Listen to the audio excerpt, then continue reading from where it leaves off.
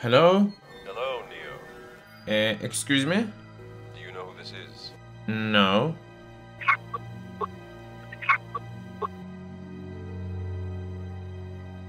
Maybe someone called the wrong number.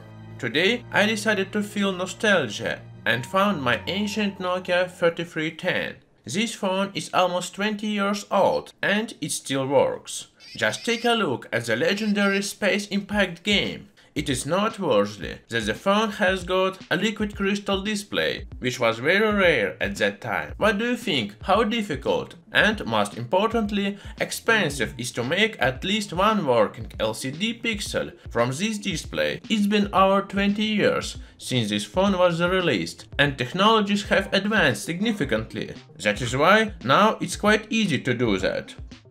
Or maybe not really. Let's find out.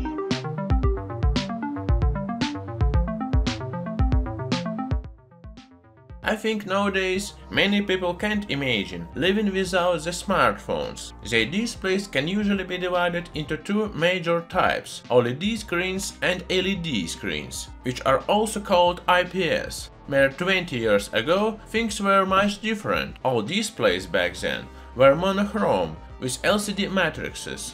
In the past, they were also called liquid crystal displays.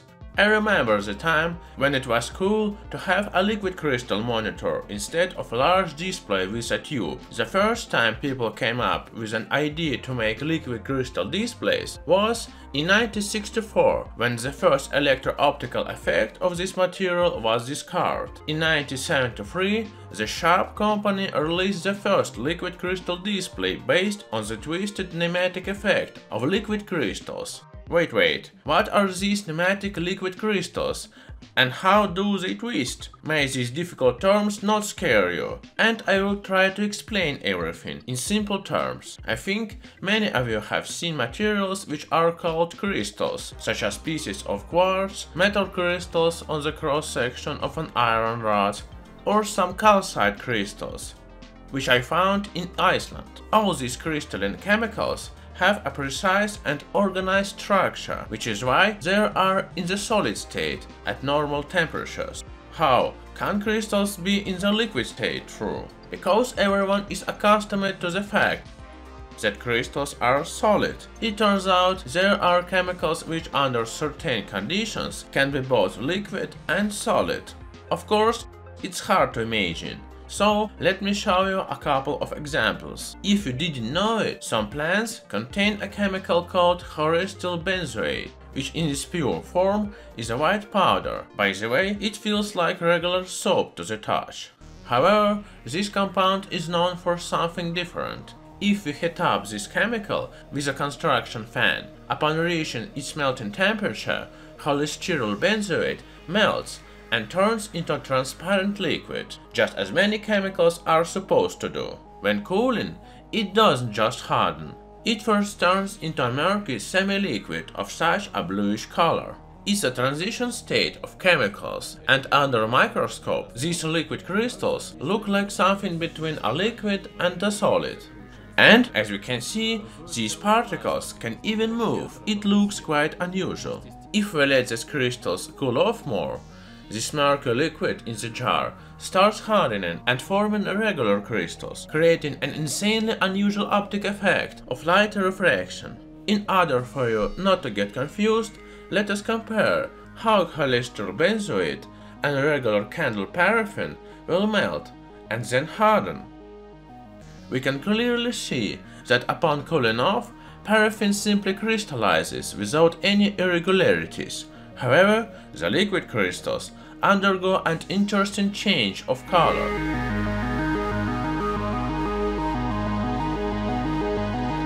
In the 19th century, this very experiment was used to discover the formation of liquid crystals. The scientific term describing such chemicals which refract light is cholesteric liquid crystals. I don't know why they are called this way, however, it is what it is. By the way, they can be used as thermometers. if you mix some cholesterol derivatives in the proportions you can see on your screen. At the same time, you can choose such a ratio of chemicals that liquid crystals will be forming at a certain temperature, for instance, at a temperature slightly higher or slightly lower than our body temperature. In one of my previous videos, I even made such cars, which change their color upon being touched. These are quite interesting and unusual chemical toys with liquid crystals. Hmm, you may wonder if these liquid crystals can change their color. Then why is my old Nokia's display monochrome rather than multichrome? The thing is, those liquid multicolored crystals I mentioned earlier were invented back in the 19th century and today they don't have many applications. Nowadays more modern chemicals are used instead. Hmm, yes, this murky semi-transparent liquid is made up of those modern liquid crystals, which can be found in my Nokia's display, as well as in other similar displays. In order not to dismantle a thousand displays, I bought such a bottle with the needed chemicals. By the way, they cost quite a lot. In contrast to the previous type of liquid crystals, which are called cholesteric crystals, these type of chemicals react with electric current, and that is why they are called nematic crystals. From a chemical point of view, these crystals are a chemical with such a long and hard to spell name, which enters a transition state in the form of liquid crystals at room temperatures. This means that if we freeze the content of the bottle, it will harden, and if we heat it up, it will boil. So, now you have learned what liquid crystals are. Let's find out how they are used. I came up with an idea to try to make a do-it-yourself LCD pixel after watching this 7-year-old video from the Applied Science channel. This channel's creator, whose name is Ben, assembles unique setups, including making DIY liquid crystal displays. That is why I decided to repeat this experiment. In one of the videos on this channel, there was a short description of how to make such a pixel. That is why basically I decided to do the same. First of all, to make such a pixel, I need to get electrically conductive glass from somewhere. In his video, Ben made such a glass himself by plasma coating the glass with tin oxide and indium oxide layers in a vacuum chamber. Since I don't have such special equipment, I decided to order such a glass from a Chinese manufacturer. Sometime later, I got a parcel inside which there were several glass sheets coated in fluorinated tin oxide which creates a thin electrically conductive layer on the surface of the glass. Such glass is used for making touch screens or LCD panels. Since I got quite large glass sheets, I'm cutting them in half with the help of a diamond-tipped glass cutter. Thus, I have got two halves for making my pixel.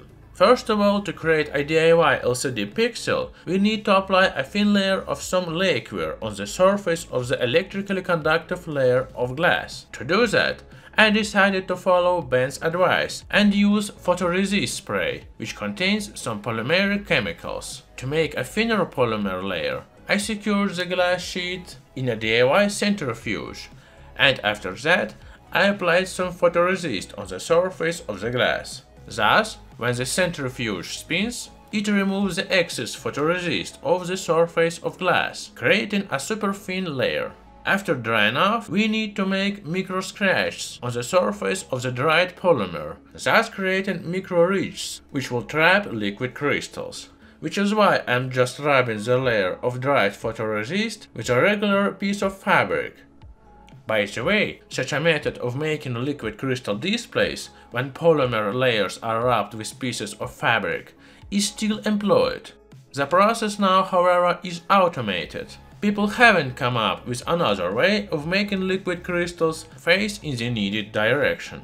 Now I need to make straight scratches on the electrically conductive sheets of glass, which are perpendicular to other sheets of glass. Thus, when electricity is applied, liquid crystals will be able to change their position. This picture illustrates how the process is supposed to happen. Here the display is off and here it is on.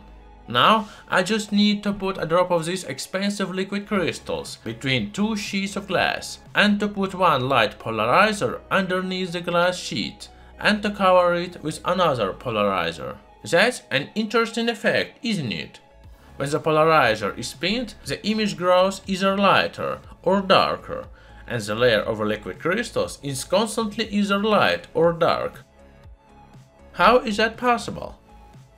The thing is, from a physics point of view, light spreads as a waves, which are present almost in all dimensions. This is how it looks sideways. However, if we take a polarizer, which is a piece of plastic coated in a tiny microscopic shades, and make a beam of light pass through it, the light wave will be spreading only in one dimension, and other dimensions will be cancelled off.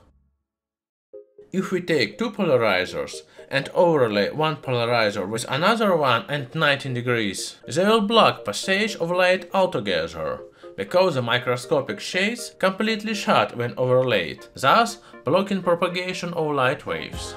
If we apply a drop of liquid crystals in between two sheets of glass with a polarizer, we will see how the crystal sprayed area starts letting in light or blocking it depending on the rotation of the polarizer. That's because of the scratches applied to the photoresist layer of the glass, which trap liquid crystals. Nowadays, a set of two polarizers are used in almost all LCD screens. I think you have noticed that when the top film is removed from an old display, the image disappears because the second polarizer doesn't block pixels needed for creating an image.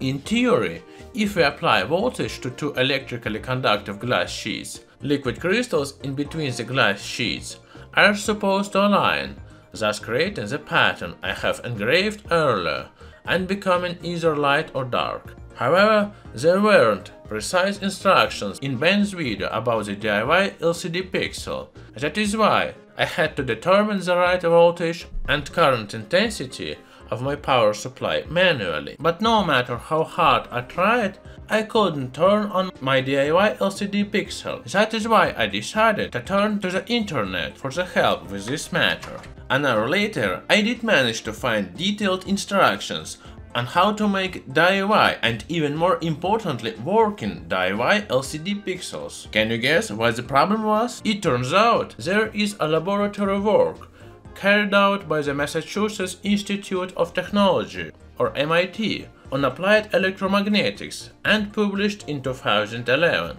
This work is part of the university's free and open lectures for all those willing to learn something new.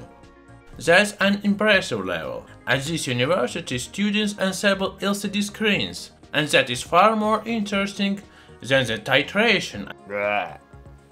This is why such a famous figure as Gordon Freeman graduated from this very university.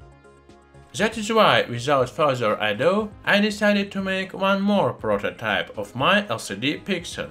Just I did last time, First, I need to apply a micronic layer of some lacquer or glue. According to the instructions, PVA glue is the most suitable option. However, this glue is quite thick. That is why to get the needed consistency, I diluted it with water. Then, with the help of my DIY centrifuge, I am coating the electrically conductive glass sheets in a thin layer of polyvinyl alcohol. After that, it dries off pretty quickly. When the glue has dried off, just like I did earlier, I need to make micro scratches with a regular piece of fabric.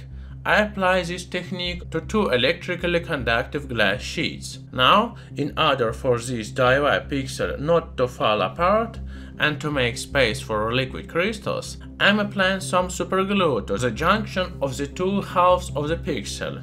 After that, I'm gluing two glass sheets with each other. After the glue has dried, I'm filling the space between the glass sheets with some liquid crystals. Because of their low viscosity and small size, the liquid crystals easily fill up the small space between the glass sheets as a result of capillary action. Basically, I just need to attach light polarizers on both sides of the obtained pixel, and that's it. However, a regular electricity supply isn't suitable for turning on and off of such a device setup. We need a more sophisticated device. According to the instructions, we need a signal generator, which I have bought specially for this experiment. This device can create signals with different frequencies and different wave shapes. For instance, it can be used for power a light emitting diode or a piezoelectric buzzer.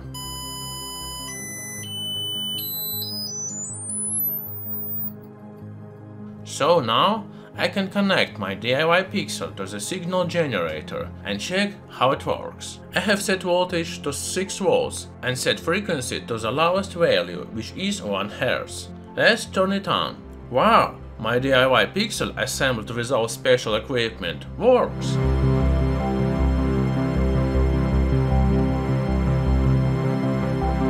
And when the frequency changes, it blinks like a real LCD screen. I can even see how electricity travels through the glass, which makes liquid crystals immediately change their position, thus either blocking the light or letting it in. It looks like a small electric head. However, not the entire pixel changed color. There are small areas where liquid crystal either don't stick well to the glass, or electricity doesn't reach them. In general though, it looks quite spectacular. I decided to give it another try and assemble a higher quality pixel, having repeated the previous stages. After connecting my second sample, we can see that almost the entire pixel works. It's worthy of note that if we remove the top polarizer, we almost cannot see how the pixel works. When the top polarizing film is removed from a screen, the image disappears.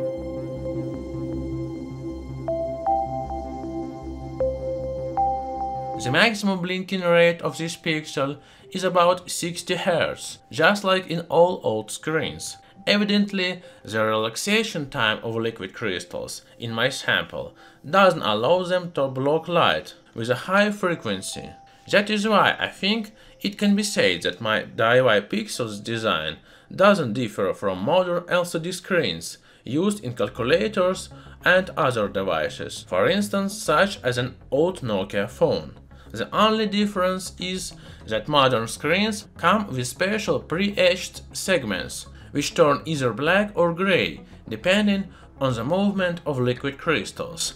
The only thing that differs my screen from multichrome displays is that there are no special colored luminophores in my screen, which give different colors to different pixels.